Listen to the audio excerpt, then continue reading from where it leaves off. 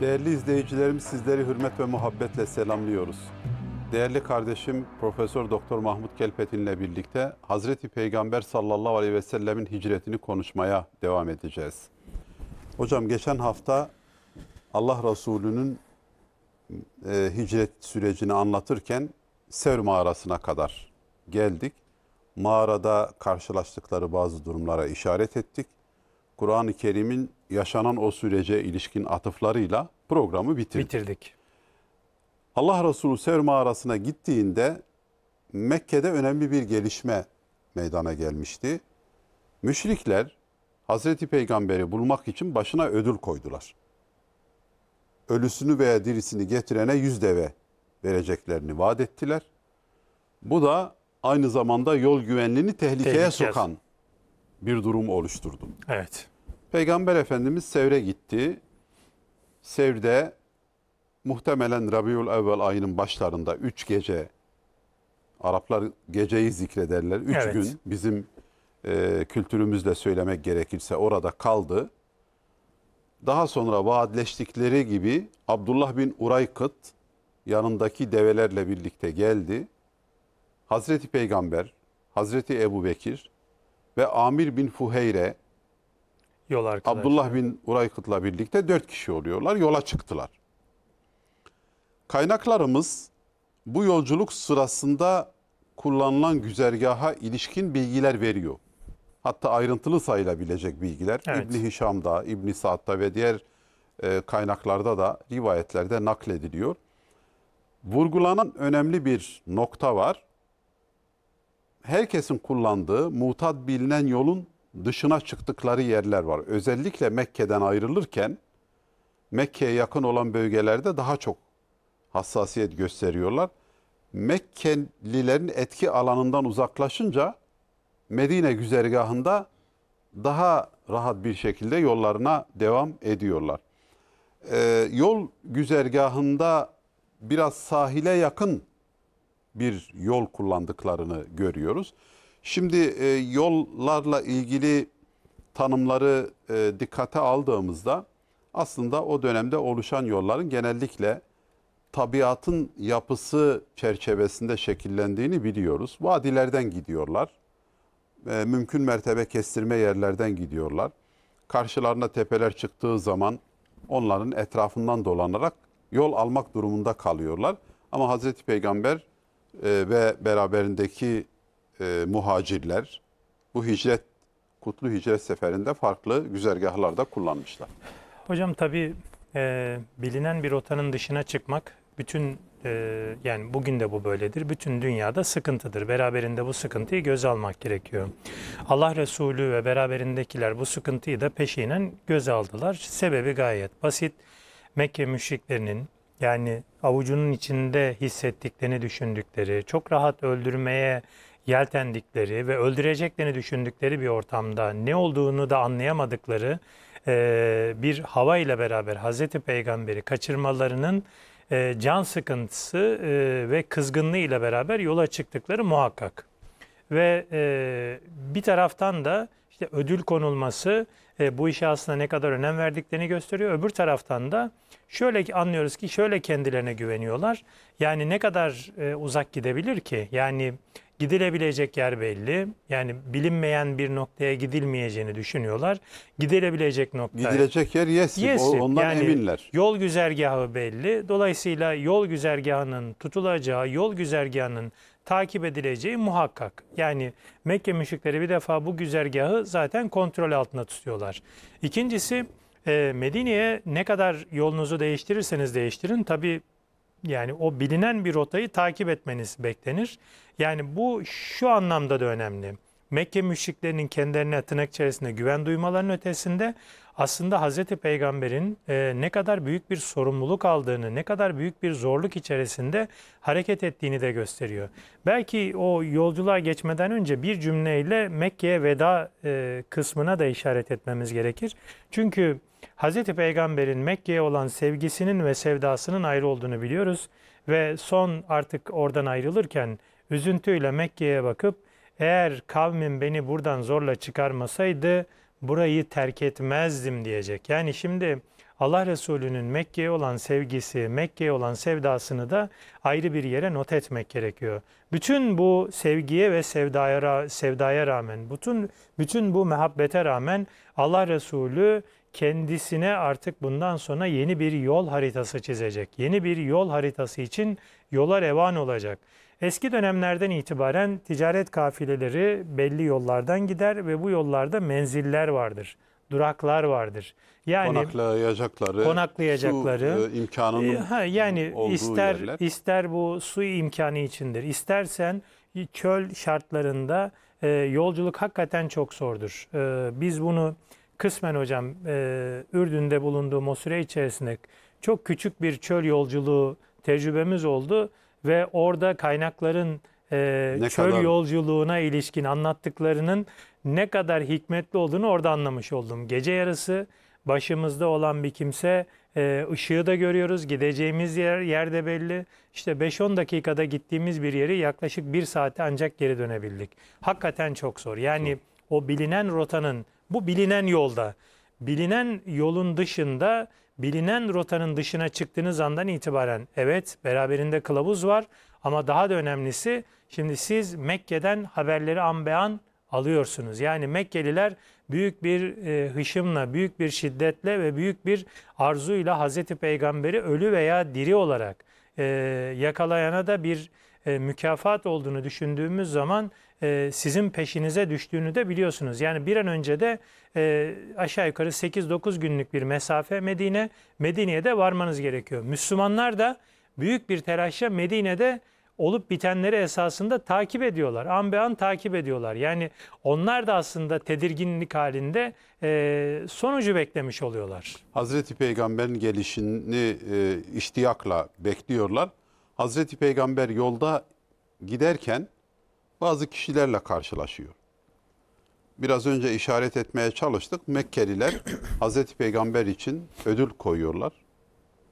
E, onu ele geçirmek amacıyla ve bu ödül duyurusunu yol güzergahındaki kabilelere de duyurmuşlar. Bilerek yapılan bir şey. Tabii. Ee, yani bu Mekke'de kalan bir şey değil. Nitekim e, Suraka bin Malik'in Evet. Allah Resulü'nü e, yakalama teşebbüsünde bulunduğu, yine Büreyde bin Husayb'ın e, Allah Resulü Eslem kabilesinin lideri, e, Hazreti Peygamber'i yakalama teşebbüsünde bulunduğunu görüyoruz. Suraka bin Malik hadisesi ilginç. İlginç. Enes bin Malik e, bu olayı anlatınca e, rivayetin sonunda şöyle bir kayıt düşüyor. Diyor ki Süraka e, düşman olarak geldi fakat Allah Resulü'nü koruyan bir kimse olarak geri döndü. Ve Müslüman olmuyor o esnada. E, hakikaten ilginçtir hocam. Yani tabii e, şimdi belki e, geçen haftaki programımızda biz kılavuza işaret ettik ama yeniden hatırlatalım. Kılavuz müşrik. Yani izleyicilerimizin aklına şu soru gelebilir. Ya e, ödül koyan müşrik, kılavuz müşrik, şimdi Süraka da müşrik. Nasıl oluyor bu? İşte müşriğin içerisinde iş ahlakına sahip olan da var. Müşriğin içerisinde e, yani dini hayatının dışında e, anlıyoruz ki işte burada e, Abdullah bin Ureykıt örneğinde anlıyoruz ki iş ahlakına sahip. Yani kılavuzluk konusunda emin bir kimse. Yani asla aklından mesela başka bir şey geçmiyor. Söz verdi. O sözünü tutma noktasına ve e, belki de yakalandığında kendisi de canıyla ödeyecek. Ama bir defa söz vermişti. O sözünden hiç caymadı. Şimdi Süreka meselesi de ilginç. Üç defa e, hamle ediyor. Yani Hazreti Peygamber sallallahu aleyhi ve sellemi yakaladı yakalayacak. Ve Hazreti Ebu Bekir yine endişeleniyor. Endişelenmesi, tasalanması, heyecanlanması yine kendisinden değil. Hazreti Peygamber de rahat. Yani e, endişelenme diyor. Ya Resulallah nasıl endişelenmeyeyim? Hemen dibimize kadar geldi. Yani hakikaten tam dibine kadar geliyor ve bu konuda hakikaten mahir bilinen bir kimse. Ama her Yanında defasında adamları var. Evet, her defasında yaklaştığında atı tökezliyor, düşüyor, tekrar kalkıyor. Aynı hızla tekrar, tekrar, tekrar. Artık anlıyor ki bu işte bir iş var. Ne yaparsa yapsın bir, bir netice alamayacak. Ve e, diyor ki Yüce Allah'ın peygamberi koruduğuna kani oluyor. Kani oluyor. Bana dua et diyor. bana dua et. Evet yani bu da bu da hakikaten şey. Ve e, diyor ki özür dilerim. Ve e, diyor ki bana bir emanname versen. Ee, ve ben diyor Bana peşin- bir emrin var mı? E, emrin var mı Yapabileceğim bir diyor. şey var mı? Başka bir şey, başka bir noktada sana yardımcı olabilir miyim? Hakikaten bu çok kıymetli. Yani belki 15 dakika öncesinde siz o büyük ödül vaadiyle, öldürme arzusu ve heyecanıyla, iştiyakıyla bu işi e, yapabilmek için canhıraş mücadele ederken şimdi Müslüman olmamanıza rağmen diyorsunuz ki bir emriniz var mı? Ve e, diyor ki artık merak etmeyin. Bu yolu takip edecek olanlara da ben e, arkanızdan gelecek olanları da artık bu yoldan göndermeyeceğim. Engelleyeceğim. Engelleyeceğim diyor.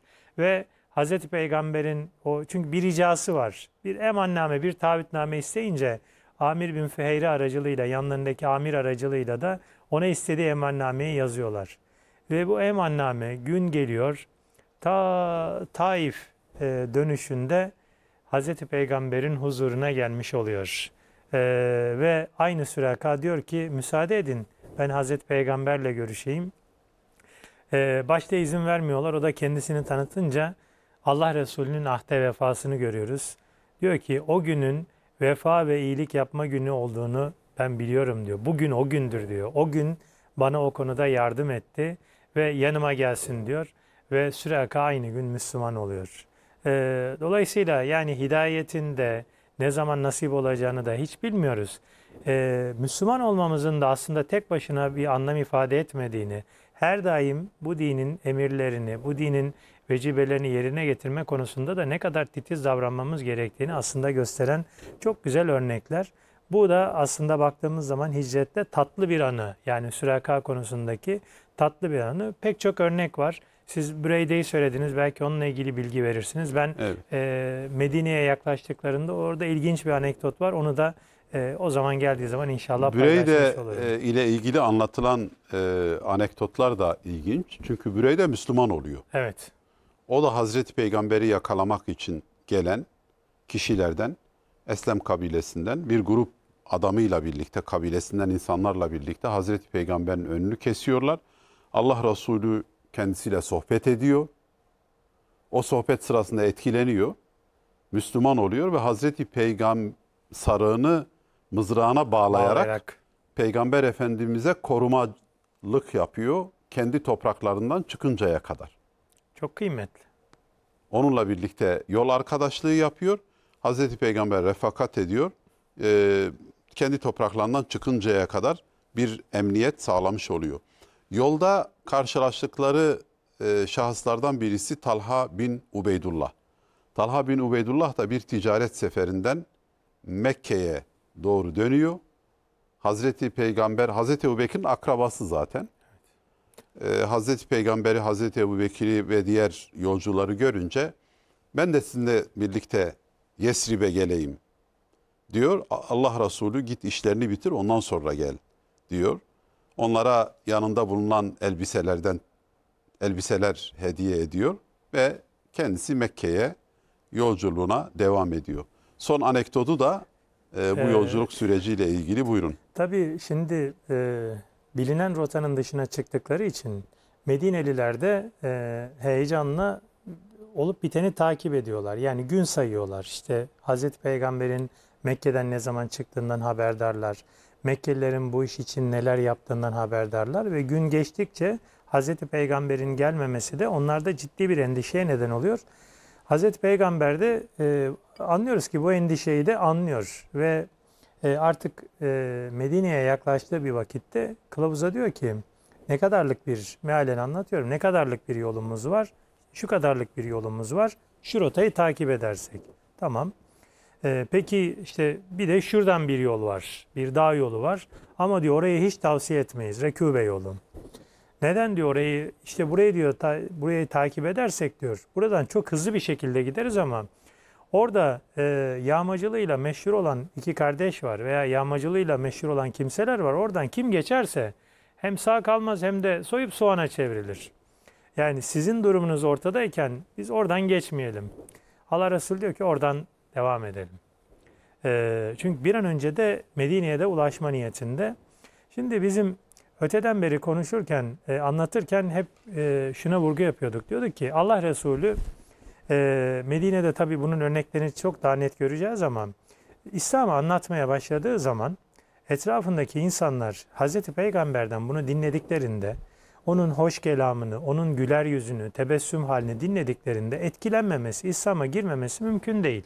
İşte e, örnekleri verdik. Süraka en azılı olanlardan birini verdik. Yani evet Müslüman olmuyor ama Hazreti Peygamber'in peygamber olduğunu işte burayı da örneğini verdiniz. Yani iş ne halden ne hale dönüştüğünü gördünüz. Hazreti Peygamber de o yolu takip ettiklerinde bahsi geçen kimseler çıkıyor ve diyorlar ki siz bizi bilmiyor musunuz? Hakikaten o bölgede bilinen kimseler, yağmacılıklarıyla bilinen kimseler. Evet biliyoruz. Ama işte Hazreti Peygamber anlatıyor, durumu anlatıyor, e, kendisinden bahsediyor, e, İslam'dan bahsedince etkileniyorlar ve Müslüman oluyorlar. Şimdi e, dolayısıyla o hicret Mekke'den yola çıktıklarında ne kadar zorlukları ihtiva ediyorsa e, yol boyunca böylesine tatlı hatıraları olan e, belki başlangıç itibariyle çok zorlukları ihtiva etse de sonrasında bizim bugün anlatacağımız pek çok hikayenin bir vesilesi de olmuş oluyor ve pek çok kimsenin de İslam'a girmesine bu ve bu bu haliyle de vesile olmuş oluyor. E, ez cümle Hazreti Peygamber o bütün zorluklarıyla beraber hakikaten yani o hicret rotasını da hocam takip ettik. Gerçekten çok büyük bir zorluk. Yani çölün e, bugün de öyle. Yani bugün de karayoluyla gittiğiniz zaman bütün o iyi imkanlara rağmen e, büyük bir zorluk olduğunu görüyorsunuz. Yani işte 8 günlük bir yolculuktan bahsediyoruz. Ve ne olduğunu bilmeksizin. Bir de rotanın e, yani rotanın dışına çıktığını, o bilinen rotanın dışına çıkıldığı kısmını ısrarla vurguluyoruz. E, bir haritamızda bir haritamızda vardı herhalde onu da e, ekrana e, Ekranda izleyicilerimiz Ha, evet, görüyor. Yani o harita mesela durumu daha ne- net bir şekilde ortaya koymuş olur. Yani bu tam anlamıyla Yeşille esasında gösterilen güzergah Peygamber Efendimizin hicret Evet, güzergahı. evet. Yani bu tam anlamıyla esasında ikinci kez ölüme meydan okumak. Ee, ve bu şartlarda yolculuk gerçekleşmiş oluyor. Yani e, hani e, Hazreti Peygamber e, bu yolculuğa neden anlam yükledi veya biz neden bu yolculuğa bir kırılma e, diyoruz? Biraz da sebebini burada aramak gerekiyor. E, Normal şartlarda Mekkeliler yola çıktıklarında ticari kervanlarla herhalde bu güzergah 10 gün civarında Evet. tutuyor. Çünkü e, daha kısa mesafelerde konaklıyorlar. Bir de Ama bu- kervanla beraber Bu gidildiği riskli için. bir yolculuk olduğu için ve takip edildiklerine ilişkin e, önceden bir ödül başlarına ödül konulduğuna dair bilgileri de olduğundan daha hızlı yol almış oluyorlar. Muhtemelen birkaç günde kısalttılar yolu. Evet. Önce Kuba köyüne vardılar. Kuba köyü e, Medine'nin, Yesrib'in güneyinde takriben 5 kilometre O, mesafede. o kadar bile yok hocam. 3 3 kilo Ş- Şimdi daha zaten mahalle, mahalle olmuş. evet. Mahalle olmuş. Ee, yakın bir e, mesafede ama orada Müslümanlar hicret ettiklerinde ilk gittikleri yerlerden birisi. Amr bin Avf oğullarının yanına Kulsum bin Hidm'in evine Peygamber Efendimiz iniyor. Ee, Medine hinterlandında bölgesinde ilk konakladığı yer burası kabul edilebilir. Hicret eden Müslümanlar da Buraya. e, Medin yani Yesrib'e gidiyoruz dediklerinde çoğu buraya geliyor. Daha sonra buradan ilişkili oldukları diğer mahallelere gidiyorlar. Şimdi Medine'nin coğrafyasına baktığımız zaman e, daha sonra Peygamber Efendimizle birlikte e, bu ismi aldığında daha geniş bir alanı aslında ifade ediyor ama başta Yesrib köyü var ve diğer kabilelerin birbirlerine akraba, Evs kabilesinin, Hazreç kabilesinin ve bu bölgede yaşayan Yahudilerin ikamet ettikleri Böyle köyleri var. köyler, Evet. Bu köyler birbirlerine bazen 500 metre, bazen 1 kilometre, bazen 3 kilometre, bazen 5 kilometre mesafede arazilerin içerisinde araziye e, arazilerde tarıma uygun olmayan alanlara kurulmuş olan birbirine akraba ailelerin oturdukları evlerden oluşuyor. Ee, onun için Kuba'ya geldiği zaman Allah Resulü Medine'ye geldi diyebiliriz. Doğru. Bunu söylemekte bir mahzur yok. Muhtemelen Rabiul ayının 12. günü buraya geldi. Bazı rivayetlerde daha erken Daha erken. geldi 8 gibi. ve 12'de Yesrib'e Yesrib'e ulaştı, ulaştı. ifade ediliyor. Bu e, rivayetlerdeki anlatım farklılığına da işaret etmiş olalım. Ee, Allah Resulü buradayken şimdi siz önemli bir hususa işaret ettiniz. Tebliğ süreci devam ediyor. Yani biz tırnak içerisinde kaçış demiş olsak bile biz hicrete kaçış olarak bakmıyoruz tabii. Ee, ama böyle dense bile o süreçte Hazreti Peygamber'in karşılaştığı insanlara dini anlattığını, bunların bir kısmının Yol- Müslüman olduğunu görüyoruz. Yolda yolda eşkıyanın Müslüman olduğunu Evet, görüyoruz. Eşkıya Müslüman oluyor, kendisini öldürmeye gelen Müslüman oluyor. Kuba'ya gittiğinde bu tebliğ faaliyetleri devam ediyor. Hazreti Peygamber'in hayatında tebliğ, vahiy ve vahiy bildirmek, elçilik yani risalet görevini yerine getirmek temel e, bir e, konumda hayatını ona göre yaşıyor, ona göre organize ediyor. E, korku içerisinde yolculuk yaparken de rahat olduğu bir zamanda da Kur'an'a, davete, ilahi mesaja ilişkin e, beyanlarını, açıklamalarını yapıyor. Sad bin Haysemen'in evinde toplanıyor Müslümanlar. Allah Resulü'nün yanına gidiyorlar. Davetini orada yapıyor. Bu evin bir özelliği var. Sad'ın evi. Sad evlenmediği için hicret eden bekar Müslümanlar aileleri rahatsız etmemek amacıyla onun evine gidiyorlar. Onun için buraya bekarlar evi deniyor. Hazreti Peygamber de tebliğ faaliyetlerini e, burada büyük ölçüde bu evi merkez olarak kullanarak ama kendisi Külsum bin Hidm'in evinde misafir olarak kalmak suretiyle birkaç gün Kuba'da bulunuyor. Tabii hocam e, şöyle söyleyelim. E, Medinelilerin e, şöyle bir e, heyecanı da var. E, Akabe görüşmelerine katılanlar dışında Hazreti Peygamber'i tanımıyorlar. Yani hep haberler geldi. E, söylediğimiz Bir kısmı Müslüman olmuş ama Evet. Peygamber Efendimiz'i görmemiş. görmemiş. Yani bu, bu Akabe'de kısım, de 75 kişi evet takriben. yani bu kısım bu bulunmuş. kısım önemli çünkü Hazreti Peygamber gelene kadar yani Müslümanların önemli bir kısmı oraya gitti.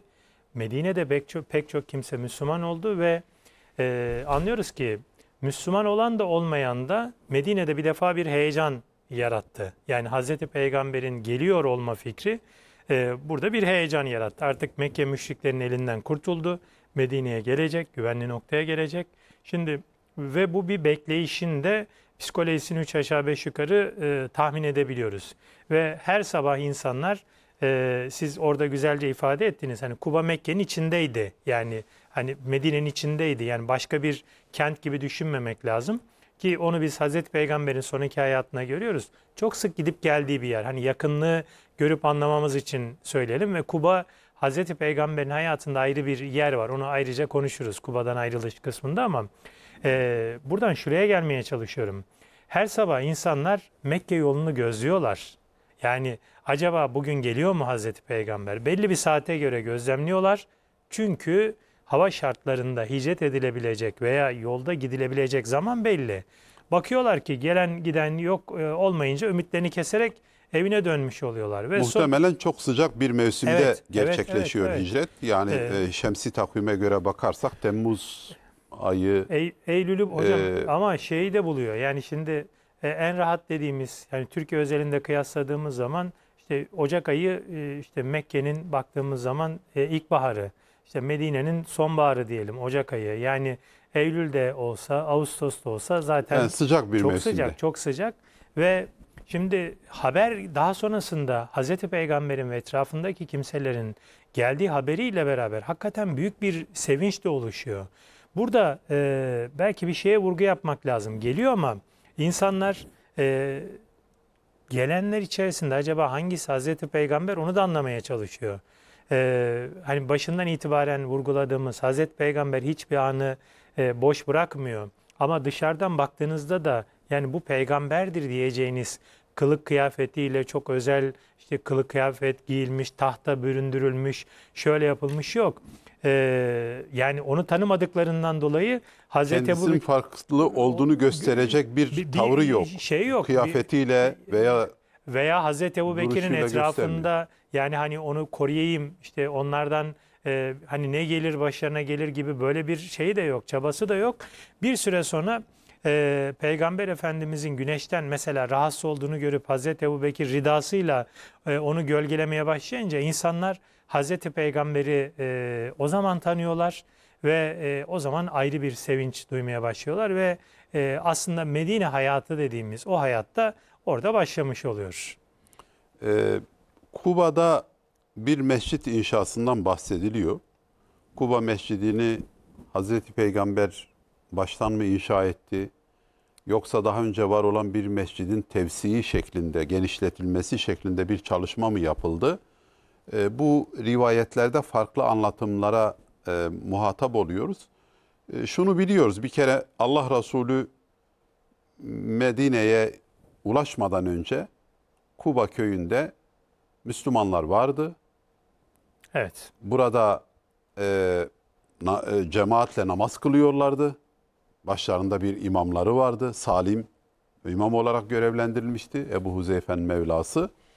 Ve e, e, ibadetlerini cemaatle namazlarını eda ediyorlardı. Çünkü Peygamber Efendimiz hicret etmeden önce de Mekke'de Müslümanlar namaz kılıyorlardı. Medine, Medine'de e, namaz e, kılma e, Müslümanların temel ibadetlerinden birisi olduğu için hassasiyetle üzerinde durdukları bir konu. İbadetlerini cemaatle yerine getiriyorlar. Bu mescidin dışında ayrı bir mescit mi yaptı? Mescidi mi genişletti? Veya yıkıp yeniden mi yaptı? Bu tartışılabilecek bir konu zannediyorum. Yani şunu söyleyebiliriz. Ee, Hazreti Peygamber'in davetinde mescit kavramı çok çok kıymetli. Bunu özellikle Mescid-i Nebevi'nin inşası kısmında uzun uzun konuşuruz ama burada Hazreti Peygamber'in o kaldığı kısa gün içerisinde de yani 3-4 günü geçmeyen bir süreden bahsediyoruz. Evet.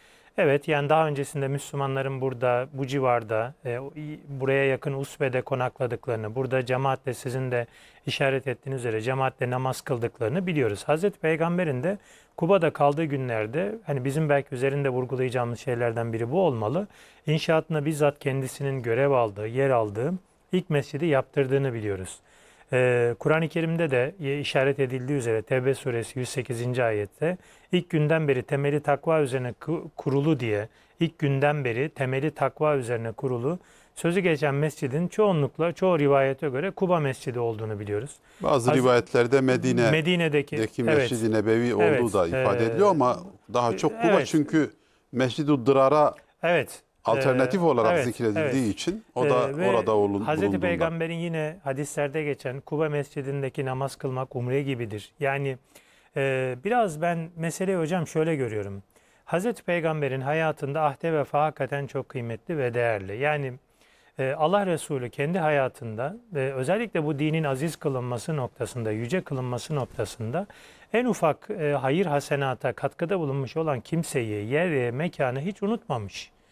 E, Kuba'nın da böyle bir yeri var. Hem Hazreti Peygamber'in hayatında hem de Müslümanların hayatında. Yani bir bakıma meseleyi şöyle anlasak herhalde yanlış olmaz hocam. Müslümanların özgürleştiği bir yer Kuba. Yani düşünün ki işte e, Mekke'den o e, ne olacağını bilmeksizin çıkıyorsunuz. Kuba'ya girdiğiniz andan itibaren yeni bir dünyaya başlıyorsunuz. Hava değişiyor. Her şeyiniz Korkusuzca değişiyor. Her şeyiniz değişiyor yapıyorsunuz. ve ilk defa belki de Müslümanlar kendilerine baskı uygulanmaksızın acaba ben ibadet edersem e, malıma mülküme el konulur, bana şöyle zorluk çıkarılır. Bir kölesiniz yani efendinizin baskı ve zulmü olmaksızın ibadetinizi yerine getiriyorsunuz. Annenizin veya babanızın, amcanızın, ağabeyinizin bir baskısı olmaksızın ibadetinizi yerine getiriyorsunuz. Bir araya geliyorsunuz. Daha da önemlisi. Mesele sadece ibadet de değil. Mescid, mescidin fonksiyonlarında uzun uzun konuşuruz ama mesele sadece bu da değil. Yani işte e, konuştuğumuz şekliyle Hazreti Peygamber burada tebliğini devam ettiriyor. Yani insanlar geliyorlar Hazreti Peygamber'i bir kısmı söylediğimiz gibi merak duygusuyla geliyor. Hazreti Peygamber'i tanıyor ve hayran kalıp yeniden orada inanıp ve Müslüman olmuş oluyor. Bir kısmı da görmeden inandığı Hazreti Peygamber'i yakinen tanımanın mutluluğu mutluluğuna e, sahip oluyor. Şimdi Kuba böyle bir yere ev sahiplik ediyor ve Hazreti Peygamber hiç unutmuyor. Yani e, çok sık bir şekilde geldiğini biliyoruz. Hafta sonlarında özellikle Kuba'ya bazen binerek bazen de yaya olarak o yolu yürüdüğünü biliyoruz. mescidinde namaz kıldığını, orada e, vakit geçirdiğini e, biliyoruz. Yani e, bu da baktığımızda esasında Hazreti Peygamber'in o biraz önce işaret ettiğimiz e, ahde vefasının da bir yansımasıdır. E, namaza işaret ettik. Bu yolculuk sırasında e, değinilmesi gereken başka bir namaz var. O da cuma namazı. Evet. Hazreti Peygamber Kuba'dan Yesrib'e giderken e, Yol Salim üzerinde. bin Avf oğullarının mahallesinden geçtiği sırada o mahallenin e, yakınında arazide Ranuna vadisinde, Vadisinde.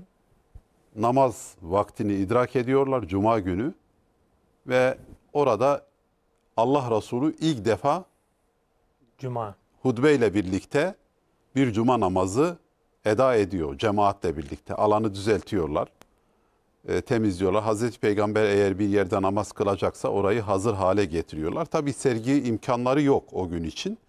Tesviye yapıyorlar. Yerde yeri biraz düzeltiyorlar. Belki kaba taşları atıyorlar. İnce küçük taşları çok e, temizleyemeseler de orada namazlarını eda ediyorlar. Daha sonra oraya bir mescit de inşa edilmiş sonraki dönemlerde bir mescitte inşa edilmiş ama Hazreti Peygamber kıldığında namazı orada bir e, yapı yok. Yok. Mescit zaten namaz kılınan yer, secde yapılan, yer Yapılan yer. anlamında e, kullanılır ve bu e, burası için doğru. Fakat cuma namazıyla ilgili kaynaklarımızda Peygamber Efendimizin hicretinden önce Yesrib'de eda edildiğine dair rivayetler var. Esad bin Zurare e, burada Müslümanları topluyor. Mescid-i Nebevi'nin olduğu inşa edildiği arazinin kenarında bir mescit yapmış. Tavanı yok, çatı yok yani. Etrafı duvarla çevrilmiş bir yapı. Orada toplanıyorlar, namaz kılıyorlar. Vakit namazlarını orada kılıyorlar. Cuma günü de Müslümanları davet ederek, çağırarak bir e, namaz eda ettiği, buradan hareketle aslında Cuma namazının farziyetinin Mekke'de indiği ancak Allah Resulü'nün Böyle bir imkan. kılacak bir imkan ve ortam bulamadığı için buna ancak Ranuna Vadisi'nde e, imkan bulduğunu ve orada ilk defa eda ettiğini, Esad bin Zurare'nin ise daha önce Daha önce. e, cuma namazını kıldırdığını kaynaklarımız zikrediyor. Hatta işte belli sayıda bir cemaate ulaşınca İbn İshak onu anlatıyor. İşte 40 kişi olunca gelin toplanalım biz de bizim de bir günümüz olsun şeklinde bunun bir emirle değil de bir tercihle olduğuna dair bir anlatım da söz konusu. E, ama e, bir araya gelme ve toplanmanın artık Müslümanlar açısından bugüne kadar çok önemli bir faaliyet, önemli bir etkin Evet, etkinlik. Ee, şimdi Türkiye'de mesela milyonlarca insan aynı vakitte günün belirli bir zamanda yani ülkenin bir ucundan bir ucuna diyelim bir saat fark var.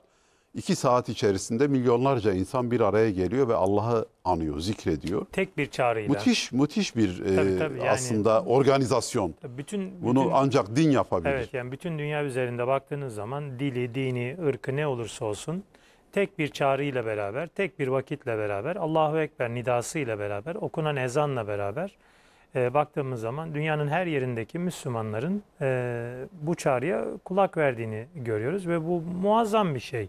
Keşke bu güç e, bir güç yani kullanılabilse de Keşke Evet. Müsl- Müslümanlar bunun bilincinde bilincine olsa. farkına farkına Bunu varabilmiş doğru bir olsa şekilde muazzam bir şey. Yani çünkü o e, belki hani mahalle mescidine gittiğimizde o gücü belki göremeyiz ama biraz böyle kalabalık bir yere gittiğimiz zaman insanların o heyecanını koştura koştura özellikle o vakit yaklaştığındaki o heyecanı dışarıdan şöyle biraz izleme imkanınız olsa veya çıktıktan sonraki o, o, o kalabalığı, o kitleyi gördüğünüzde esasında bunun ne kadar büyük bir güç olduğunu e, iş- işaret ettiğini üzere kullanılabilirse ne kadar e, faydalı ve yerinde işler için e, kullanılabilecek bir güce dönüşme imkanının olduğunu e, herhalde söylemeye gerek yok. Hazreti Peygamber e, Kuba'dan Yesrib'e çıkmadan önce dedesinin, büyük dedesinin dayıları olan Neccar oğullarını davet etti.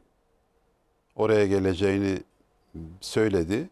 Onlar da silahlarını kuşanarak aslında biraz törensel bir e, şekilde Hazreti Peygamber'i köylerine götürdüler. Yesrib'e götürdüler. Diğer Müslümanlar da muhacirler ve ensar onunla birlikte yürüdü. Zaten çok uzun bir mesafe Değil. değildi. Ona işaret ettik biraz önce. Hazreti Ebu Bekir'i devesin terkisine alarak Kasva isimli devesinin üzerinde e, Yesrib'e gitti ve e, yolda giderken yanından geçtiği arazilerin sahipleri veya köylerin, mahallelerin e, sakinleri kendi köylerine inmesini ve yanlarında kalmasını, misafir ola- olarak kalmasını Hazreti Peygamber'den e, istediler. Ona onu davet ettiler. Allah Resulü e, deve memurdur dedi. Ben biraz bunu şöyle okuyorum. Devenin sahibi nereye gideceği konusunda karar vermiştir. Deve de bunu biliyor anlamında yorumluyorum. E, çünkü Hazreti Peygamber'in o günkü örfte dikkate alındığında dayızadelerinin yanına gitmesi onların e, onore edilmesi açısından hatta belki e, Yesrib'in Medine'nin hassas durumunu değiştirmemek açısından önemli. Çünkü kabilelerden birisini tercih ederse Evs'ten veya Hazreç'ten Başka bir- hassas olan bir durum. İki kabile arasında kan davaları olduğu için e, çok isabetli de olmayabilirdi. Hazreti Peygamber Yesrib'e Neccaroğullarının oturdukları mahalleye gidiyor. Orada birkaç konu var. Belki onları konuşmak lazım. Birincisi e, e, konakladığı yerde bir mescit inşası. Bu mescit inşasına ayrıca ayrıntılı bir şekilde inşallah önümüzdeki programlarda değineceğiz. Çünkü mescidin fonksiyonu çok önemli. sadece e, ibadet etmek değil, çok daha kapsamlı, geniş İslam medeniyetinin merkezi kurumlarından birisi mescit. E, bugün için belki o fonksiyonunu tam olarak icra edemiyor ama e, birçok kurumun hukuktan e, eğitime kadar, askeriyeden, Askeriyeden, siyasete kadar birçok kurumun temel hizmeti, evet. merkezidir. Oradan yayılmış, oradan ayrılmış diğer kurumlar.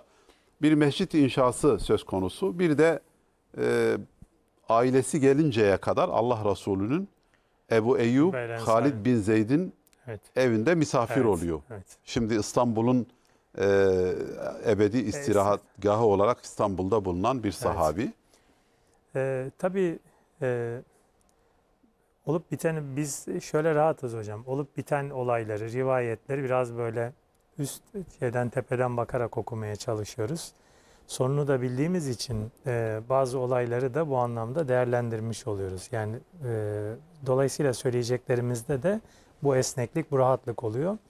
Hazreti Peygamber'in e, bu noktada da e, ne kadar zorlanacağını da görmüş oluyoruz. Yani Şimdi e, bir şehre gidiyorsunuz ve bir vereceğiniz bir karar bir grubu sevindirecek, büyük bir kitleyi de üzebilir. Öyle bir adım atmalısınız ki karar verdiğiniz kimse de sevinmeli. Yani konaklayacağınız yerdeki kimse de sevinmeli. Konaklamadığınız yerdeki kimse de üzülmemeli. Hatta o da e, Durumdan memnun kalmalı. memnun kalmalı. Şimdi bu hakikaten çok zordur. Yani ve eğer bu süreci çok sağlıklı yürütemezseniz çok başarılı olacak gibi düşündüğünüz bir yerde başarısız da bir olabilirsiniz. de misafir çok önemli bir misafir. evet. Peygamber başka şehirden gelip kendilerine başlarına lider olarak Evet. e, davet ettikleri bir şahsiyet. Ve insanlık var oldukça da tarihte yazılacak olan bir durumdan bahsediyoruz. Hani bunu olabildiğince uzatabiliriz. Yani bunu şunun için söylüyorum. Rivayete sadece rivayet olarak bakmamak gerekiyor. Şimdi e, burada tabii o e, kasvanın e, serbest bırakılması yani ben henüz karar vermedim. Bir bakalım bir deveyi bir rahat bırakın. Deve Orada ince bir kendisi- siyaset var. Evet ince bir siyaset var. Yani bu meseleyi böyle okumak lazım. Çünkü e, Allah Resulü e, ben falanca yerde kalacağım. Tabii ki filanca yerde kalacağım. Yani bu sorulur mu? E, yani bu soruyu sorması e, abes. Çünkü eğer o her bütün toplum tarafından biliniyor olsaydı zaten bir hazırlık yapılmış olur.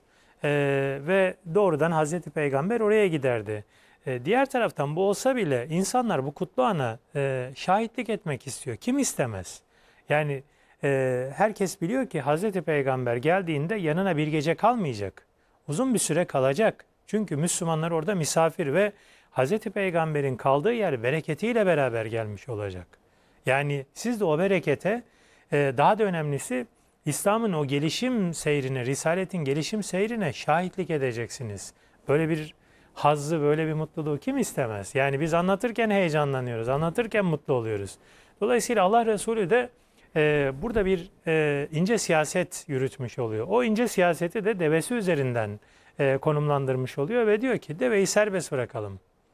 Deveyi serbest bırakalım ki onun çöktüğü yer neresiyse oraya en yakın yer artık bizim konaklama yerimizdir. Devenin birkaç kez böyle konaklar gibi yaptığını, kalktığını ve en sonunda da e, e, misafir, eve misafir olarak konakladığı yerde durduğunu görüyoruz. Yani Ebu Eyyub Ee, El Ensari'nin evinin Evet, yakınına. Yakınında. Evet.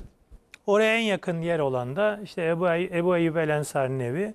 Daha, de ve daha sonra işte mescidin önce e, Mescid-i Nebevi'nin e, yapıldığı boş bir arsaya çöküyor ve o işte Burası e, hurma kurutmak için Evet. kullanılan bir alan. E, Ebu e, Esad bin Zürare'nin e, velayeti altında olan Sehl ve Süheyl isimli iki ye- iki yetim Yetime. çocuğa ait. E, daha önce de e, işaret ettik. Orada Esad bin Zürare arazinin bir kenarına, bir köşesine küçük bir yer yapmıştı mescit olarak kullanmak amacıyla. Bazı müşrik mezarların olduğu arazinin yine kenarında naklediliyor. E, bu alanı Allah Resulü satın alıyor. evet.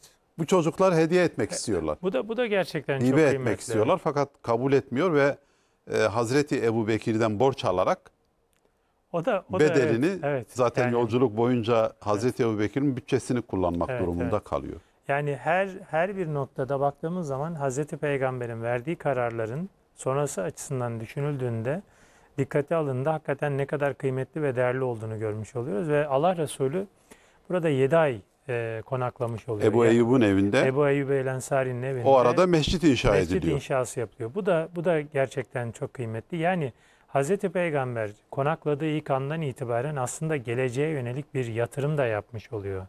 Ee, işte o yatırımın adı yani işte bunu biz Kuba'da gördük. Ee, bir mescit.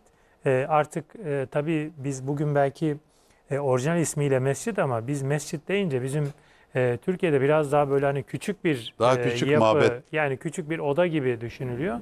Buradaki e, mescidin fonksiyonlarını inşallah uzun uzun konuşmaya başladığımızda söylemiş olacağız. Mescit önce cami içine alıyor. Sonra bir eğitim kurumunu içine alıyor. Sonra hastaneyi içine alıyor. Sonra hayatın içine, kendisini içine alıyor. Yani hayatla ilgili her şeyi bir başka ifadeyle Hazreti Peygamber ve Müslümanlar Mekke'de arzu ettikleri bir buluşma noktasına ihtiyaç duyuyorlar. Çünkü e, bu davetin e, aynı zamanda aktarılma durumu var. Hazreti Peygamber'in herkese yetişme, her eve, her insana tek tek ulaşabilme gibi bir durumu imkanı yok. Ancak bunu mescit Bunu sağlıyor. mescitte toplu olarak yapabileceğiniz ve bu insanlar aracılığıyla bu din zaten yayılmış ve bugüne kadar gelmiş oluyor. Şimdi e, Ebu Eyyub El Ensari'nin evinde kalırken dikkat çekici birkaç anekdot da e, naklediliyor. Bunlardan bir tanesi hane halkının evin üst katını. Ev anladığım kadarıyla e, Erzurum'da eski yapılar vardı, eski evler vardı. Onları da görmüştüm.